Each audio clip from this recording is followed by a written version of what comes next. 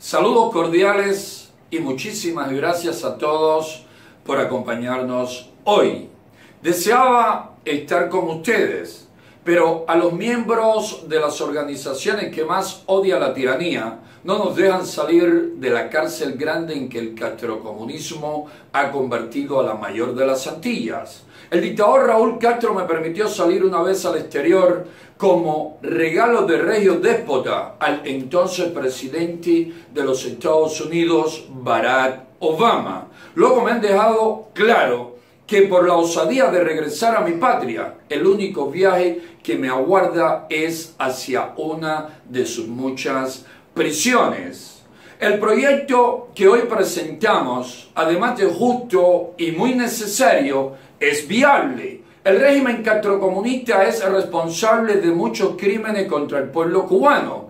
Llevarlo a la Corte Penal Internacional y que ésta le juzgue y condene es lo menos que se merecen millones de compatriotas, millones de venezolanos, nicaragüenses y otros muchos latinoamericanos afectados por las políticas represivas e injerencistas del principal enemigo de la libertad en el hemisferio occidental. Necesitamos el apoyo de organizaciones de derechos humanos, de políticos y de gobiernos verdaderamente comprometidos con la justicia. Recientemente el Parlamento Europeo aprobó una importante resolución sobre el tema de los derechos humanos en Cuba, gesto que agradecemos mucho. En apenas unas horas, el presidente del gobierno español, Pedro Sánchez, llegará a Cuba y le damos la más cordial bienvenida. Muchos acá se preguntan si demostrará públicamente preocupación por las graves y continuas violaciones a los derechos humanos en la patria de Martí. Pero luego de la postura asumida por el PSOE ante la resolución aprobada en la Eurocámara, la respuesta parece evidente. No se reunirá con ningún disidente, no será solidario con los presos políticos y ojalá me demuestre que estoy equivocado. Sería penoso que Pedro Sánchez, quien viene derrochando energías en esfumar los restos del dictador Francisco Franco y acabar con todo vestigio del franquismo, viniera a Cuba a estrechar las manos, reírse y fotografiarse con los dirigentes de una oprobiosa dictadura, a la vez que guarda silencio ante los crímenes del castrismo. Diacanel no es ni remotamente un Juan Carlos I, o un Adolfo Suárez, ni siquiera un Carlos Arias Navarro. De hecho, no tiene igual en la historia contemporánea española. Díaz-Canel viene a ser un Leonid Brezhnev con un Stalin aún vivo supervisándole todo el tiempo.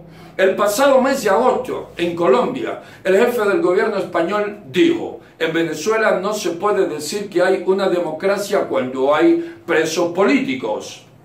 Lo mismo califica para Cuba. De hecho, la situación cubana es mucho peor. 60 años de dictadura de partido único, miles de fusilados, miles de presos políticos, más de 120 actualmente en prisión, torturas hasta nuestros días, golpizas, detenciones arbitrarias, asaltos y robos protagonizados por las fuerzas represivas en muchos hogares de opositores pacíficos, total violación del derecho a la libertad de expresión, movimiento, asociación, reunión y manifestación pacífica. Y como si fuera poco, exportación a otros países del continente del modelo más antidemocrático que haya conocido el hemisferio. Sin el catrismo, ni Venezuela ni Nicaragua estuvieran viviendo lo que hoy viven esos hermanos pueblos. El régimen castrocomunista es la matriz del mal en América.